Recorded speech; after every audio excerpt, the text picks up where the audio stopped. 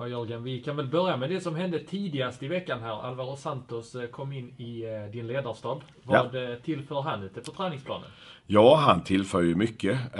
Alvaro är en person som till början med vi alla känner väldigt väl. Jag har ju känt Alvaro sedan han kom hit en gång i tiden från Belo Horizonte. Och, och hade honom i när vi var i de här Champions League-åren där runt eh, 2000 och sen har vi hållit kontakten sedan dess på ett bra sätt.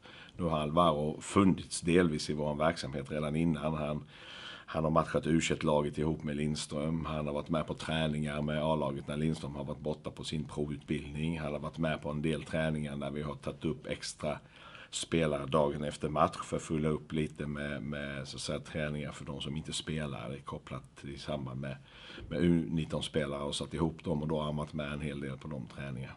Och sen så har vi träffats här varje dag på Olympia och pratat fotboll. Så att han är ju väldigt involverad i, i klubben på olika sätt redan innan. Sen har vi haft en väldigt slimmad organisation på tränarsidan om man jämför egentligen med nästan alla andra klubbar. Och den sattes ju då förra året kopplat till att det var superettan och superettan-budget och, och hela den packen och sen har vi behållit den då i allsvenskan. Och det är klart att att det finns ett behov och har funnits hela tiden egentligen på, på eh, att vi ska ha ytterligare eh, någon eller några personer till runt A-laget och jobba med allt det som krävs idag på ett med, med ett A-lag i Allsvenskan. Och när det då fanns den här möjligheten nu som öppnar sig med att Alvaro skulle kunna komma in och börja jobba med, med A-laget så är ju det såklart något som vi allihopa var väldigt positiva.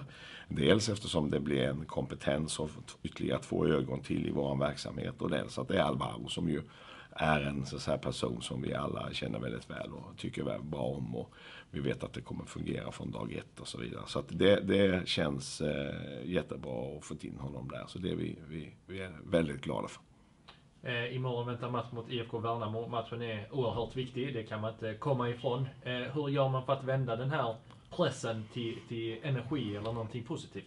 Ja, alltså grejen är att, att det, den här matchen är ju av en viss dignitet. Vi behöver ha tre poäng så som läget är. Vi möter ett lag som som är det första laget vi spelar mot som, som kommer från Superettan precis som vi. Det är svårt att prata om att i den här matchen så är vi underdogs och så vidare som vi har varit i många andra matcher där vi slår underläge. Utan det här är en match där det är en, lite press, det är lite förväntningar, det är lite krav på att vinna på hemmaplan mot Värnamo.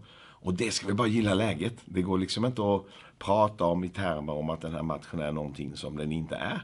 Utan det är en match som är viktig. Och den eh, viktigheten som, som, som det finns runt det, det ska vi bara fejsa och bli stimulerade och inspirerade av och känna att vi knyter näven, vi sluter leden och vi verkligen kommer samman som en extremt tajt och bra grupp och jobbar knallhårt för att få de här tre poängen och gilla läget att det är lite press och krav och förväntningar i den här matchen. Så vi ska få det till att vara en stimulans för våran del istället för att känna att vi, vi, vi, liksom, vi känner att det är förväntningar, press. Det är press, det är krav, det är förväntningar på den här matchen och det ska göra oss bättre. Det är den ingången som vi känner i den här matchen. However, det är ändå trots allt så att när denna matchen har spelats så är det fortfarande 60 poäng att spela om i Allsvenskan. Så det är på något sätt inte någon, någon det är ingen match som Everton hade igår om liv eller död för föreningens existens. Utan det är en match där vi känner att vi, vi liksom behöver vinna. Men, men, men det är ingen match om liv och död på det sättet. Så att inspiration eh, för vår sida, det är det som gäller.